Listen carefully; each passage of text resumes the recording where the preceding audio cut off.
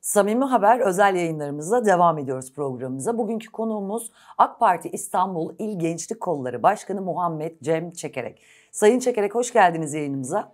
Hoş bulduk Değer Hanım. Nasılsınız? Teşekkürler, sağ olun. Sizleri sormalı. Çok teşekkür ederim. Ben de iyiyim. Seçime çok az bir zaman kaldı. 36 gün gibi kısa bir süre. Ee, AK Parti İstanbul İl Gençlik Kolları Başkanı olarak muhakkak ki yoğun bir süreçten geçiyorsunuz. Yoğun çalışmalarınız devam ediyordur ki içerisinde bulunmuş olduğumuz Ramazan ayı süresince e, daha da yoğun bir süreç vardır ama özellikle ben yaptığınız çalışmaları şu seçime yakın olduğumuz süre içerisinde öğrenmek istiyorum. Neler yapıyorsunuz, nasıl bir yol izliyorsunuz? Çünkü ilk defa oy kullanacak olan çok büyük bir seçmen kitlesi var gençlerde.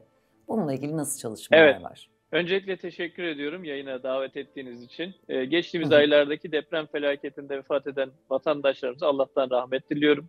Yine bugünlerde gündemimizde olan e, Filistin'deki mazlum ve zulüm gören e, kardeşlerimize de e, Rabbimden şifalar diliyorum.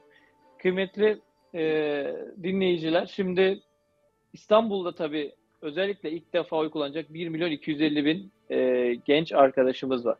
Bizim Hı hı. Ee, Türkiye'de belirleyici olan 6 milyon ilk defa oy kullanacak gencin 1 milyon 253 bin kişisi İstanbul'da yaşıyor. Bu e, Çok özel bir oran. özel bir sayı. Seçime Hı hı. 36 gün kala bizim zaten e, uzun süredir başladığımız ve özellikle bu arkadaşlarımıza temas etmek, onlarla ilgilenmek, onlarla e, hasbihal edebilmek adına beklentilerini anlayabilmek, e, yarınlardan ne istiyorlar, bunları biraz daha öğrenebilmek adına yaptığımız kapı kapı gezme usulü, hane ziyareti dediğimiz ama bunu da güzel bir şekilde bir anlam e, ifade etmesi adına Hı hı. onların doğum günlerinde yaparak yaklaşık bir yıldır e, bu uygulamayı İstanbul Gençlik olarak, olarak yapıyoruz. Buna da bir marka isim olarak Sensiz Olmaz ismini verdik. Sensiz Olmaz uygulamasında kapı kapı e, doğum günü ziyaretleri yapıyoruz ve gitmişken kapıda e, 18 yaşındaki, 19 yaşındaki, 20 yaşındaki arkadaşlarımıza hem kendimizi hem Cumhurbaşkanımızın selamını iletiyoruz hem kendimizi tanıtıyoruz. AK Parti Hı hı. Gençlik Kolları olarak geldiğimizi ve e, bizimle beraber yol yürüyeceğini, e, bizle beraber e, yarınları inşa edeceğini ve hep beraber bu Türkiye'yi oluşturacaksak ne gibi beklentiler olduğunu hem samimi bir ortamda sormuş oluyoruz hem de Hı hı. onlardan gelecekle alakalı beklentilerini, dileklerini, isteklerini, hedeflerini öğrenmiş oluyoruz. Bu en fazla sahada görünür olduğumuz uygulamalardan bir tanesi. Bu şu anda İstanbul Gençlik Kolları olarak 39 ilçe, 964 mahallede teşkilatı olan e, Türkiye'deki en hazır ve disiplinli, dünyada da benzeri az rastlanır bir organizma aslında teşkilat. E, şu anda Şile'den Adalar Teşkilatı'na kadar, Çatalca, Silivri'den Bayrampaşa'ya kadar her yerde teşkilatı olan ve e, hane ziyareti yapan, özellikle de 36 gün kalmışken seçime bir dakika bile boş durmayan bir çalışma temposuyla hareket ediyoruz. Sensiz olmaz bizim en görünür olduğumuz projelerden bir tanesi olmakla beraber Hı hı hı hı. belli bir süredir İlk oyum Erdoğan'a, ilk oyum AK Parti'ye ismiyle Sa- Sakarya'da Sayın Cumhurbaşkanımızın katılımıyla gerçekleştirdiğimiz bir e, lansman programıyla başladığımız aylar evvel ve şu anda da bizim İstanbul olarak da e, değerli bakanlarımızı ağırladığımız, birkaç defa Ömer Çelik Bakanımıza yaptığımız ve akabinde de yine milletvekillerimizle, belediye başkanlarımızla veya e, diğer misafirlerimizle gerçekleştirdiğimiz bir e, program formatı olarak devam Şimdi ediyor. etkili bir program olarak zaten bunu söylüyorsunuz. Gençlerle hem bakanları hem milletvekillerini buluşturma noktasında yaptığınız çalışmaları da anlattınız. Ama e, bu programla beraber katılım oranındaki değişiklik ne oldu? Yani şöyle söylemek istiyorum. Güzel bir proje başlatılmış. Bu proje devam ediyor hala. E, proje kapsamında yeni üye, genç noktasında rakam Evet. olarak belli mi? Tabii ki. Şimdi biz bunu e, yapmaya başlayalı birkaç ay oldu. Bu birkaç ay içerisinde Hı özellikle hı. E, İstanbul'da şu anda 40 bine yakın kişiye sadece İlk Oyum Erdoğan, İlk Oyum AK Parti'ye programıyla yani o yaptığımız programlara dahil olan kişiler nezdinde temas etmiş olduk. Bunu Ramazan gelmesiyle beraber yine sizin de az önce ifade ettiğiniz gibi çok daha da yüksek bir tempoyla çalışmaya başlayınca e, sahur programları da yani İlk Oyum Erdoğan'ın programı sahur formatında da devam etmeye başlayarak katlanarak arttı ve şu anda 100 bine yakın bir gencimize bu program esnasında temas etmiş olduk. 1 ee, milyon 250 bin gencin 100 binine direkt yüz yüze temas etmiş olduk. Çok güzel. Ve bunun da e, yine geri dönüşü olarak 35 bin yeni üye kazandırdık e, teşkilatlarımıza. Hı hı. Bu Peki ben biraz da şunu sormak istiyorum. Gençlerle Tabii. iç içesiniz, berabersiniz. Hem iftar hem sahur özellikle şu süreçte. Gençlerin özellikle beklentisi nedir? Yani muhakkak ki e, şimdi dijital bir çağda yaşıyoruz. Evet. evet kapı kapı dolaşarak aslında belki de ilk oyum AK Parti'ye, ilk boyu oyum Erdoğan'a diye bir kampanya, e, bir çalışma başladı. Ancak dijital çağda e, muhakkak ki gençlerin e, kendi bu seçimde farklı beklentileri vardır diye düşünüyorum ama başlıca çıkan beklentiler nelerdir? Şimdi e, ilk Ramazan'ın ilk gününden itibaren özellikle iftar ve sonrasında teravih sonrası çay buluşmalarında Gel Konuşalım isminde bir daha hı hı. sempatik bir isimle bir formatla çalışıyoruz. Gel Konuşalım programlarında İstanbul Gençlik Kolları olarak e, geniş, büyük katılımlı yani binlerce kişinin katıldığı programdan ziyade daha minimal, e, daha birebir muhabbet edebildiğimiz arkadaşlarımızla ve tam olarak dediğiniz gibi beklentilerini almak üzere planladığımız bir format. E, bu hı hı. programları da yaklaşık 15 gündür her gün farklı bir ilçede yaparak şu anda 39 ilçede de ben arkadaşlarımızla buluştum ve e, onlardan da birebir bu beklentileri aldım. Şimdi bizim bir Türkiye yüzyılı vizyonumuz var. Bunu anlatıyoruz kendilerine. Yani yarın 2023 sonrasında Türkiye'de çok daha üst bir seviyeye çıkacak. Ee, inşallah dünyanın ilk 10 ekonomisine girecek bir Türkiye'yi hayal ettiğimizi anlatıyoruz. Bununla alakalı da mega yatırımlardan bahsederken bir yandan da e, arkadaşlarımızın e, üniversite hayatında, lise sonunda, işte üniversiteden yeni mezun olan arkadaşlarımızın hı hı. beklentilerini alıyoruz. Yani şöyle, e, mega projelerden bahsederken bir üniversiteden yeni mezun olmuş arkadaşımızın işe girebilecek miyim kaygısını da ihmal etmiyoruz. Yani bir yandan yani daha çok ön plana çıkan başlık bu mu oluyor? Üniversite yeni mezun arkadaşlarımızın iş tabii yeni mezun arkadaşlarımızın istihdam noktasında bir beklentisi var. Ee, Elektronik eşyaların yani cep telefonu, tablet gibi cihazların, laptopların alımında bir e, acaba e, bir indirim olur mu gibi bir hı beklentileri var. Daha dediğiniz çok gençlere gibi, yönelik talepler. Dediğiniz gibi yani dijital dünyada yaşıyoruz şu anda e, telefon veya laptop veya internet oksijen gibi bir şey bizim için. E, dolayısıyla e, teknolojiden bağımsız bir şey düşünülemez, bir genç düşünülemez şu anda. E, hı hı. Biz de bunların farkında ve bununla alakalı tüm beklentileri de e, doğrudan bir şekilde Cumhurbaşkanımıza iletebilir bir mekanizma işletiyoruz. E, bu bizim en büyük ayırt edici özelliğimiz zaten.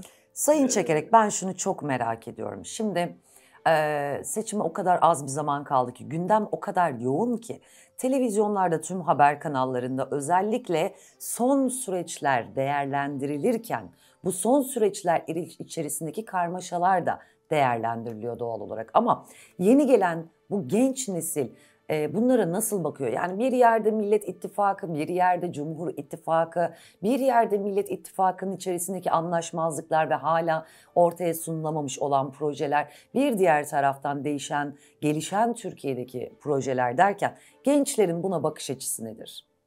Yani Şöyle, muhakkak ki sohbet esnasında bunlar da geçiyordur. Tabii ki. Şöyle sahada e, biz çok daha farklı, çok daha dinamik bir gençlik görüyoruz. Bazen sosyal medyada Sayın Cumhurbaşkanımızın da ifade ettiği gibi e, son röportajında Twitter'dan veya sosyal medyadan sonuçlara bakacak olsaydık 15 seçimdir CHP kazanıyor. Ama şu anda biz elhamdülillah tüm seçimlerden zaferle çıktık. Bizim için önemli olan sahanın üstünlüğü, dijital e, dünyada, e, sosyal medyada da görünürlüğümüzü olabildiğince tabii ki yüksek seviyede tutuyoruz ama biz sahada şunu görüyoruz. Gençlerimiz yarınlarından umutlu. Yarınlara hayalleri ve hedefleri var. Ee, karamsar değil. Kesinlikle böyle bir e, çerçeve çizilip böyle bir kalıba sokulmaktan da rahatsız. Yani hı hı. E, bir takım ifadelerle, bir takım harflerle e, ifade edilmekten rahatsızlar. E, biz onlara Cumhurbaşkanımızın da ifade gibi teknofest kuşağı diyoruz.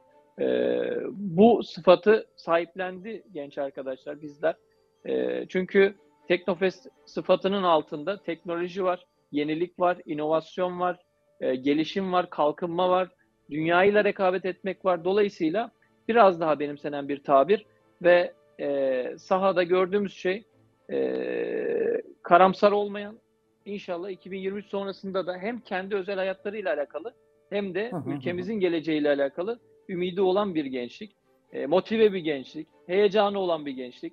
Bizim de istediğimiz e, inşallah böyle bir gençlikle beraber yola yürümek. Çünkü yarınları istekli, disiplinli, çalışkan ve azimli bir gençlikle inşa edebiliriz. Bizim de niyetimiz bu. E, böyle bir sahada e, atmosfer gördüğümüz için de çok mutluyuz.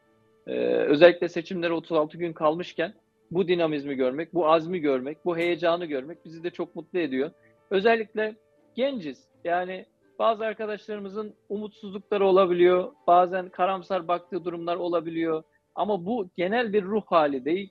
Ee, dediğim gibi genç olduğumuz için o gün canımızı sıkan bir şey veya o an ailede yaşanan bir şey gerçek hayatımızın dertlerini konuşarak, istişare ederek birbirimize e, derman olmaya çalışıyoruz ve e, bir gençle genç olarak konuşuyoruz. Aslında hı hı. en önemli şey bu. E, onlara aynı duyguları bizim de paylaştığımızı ama e, büyük resimde e, ülkenin geleceğiyle alakalı karar vereceğimiz bir süreçte daha kritik e, Peki tam da bu konuyu söylüyorum. sormak istiyorum. Ülkenin geleceğini işte tam da düşündüğümüz şu süreçte bizler çalışmalarımızı gençlerle yürütüyoruz dediniz birebir temasla. Temas edebildikleriniz var ama temas edemediğiniz yüzlerce, binlerce genç de muhakkak ki vardır. Onlar da videomuzu şu anda izleyecekler. Onlara olan mesajınız nedir? Öncelikle biz e, İstanbul'da e, 4,5 milyon haneye seçime kadar kapı kapı ziyaret etme hedefiyle gayret ediyoruz. E, şu anda %75 seviyesinde tamamladık. Yani geri kalan %25'i de seçime kadar tamamlayıp kapı kapı gezerek İstanbul Teşkilatı olarak ziyaret edilmedik hiçbir vatandaşımızı, hiçbir gencimizi bırakmayacağımıza e, söz verdik. Bunun haricinde ola ki ulaşamadığımız, o gün denk gelmemiş veya e, bazı işte muhalif arkadaşlarımız olabilir farklı görüşte.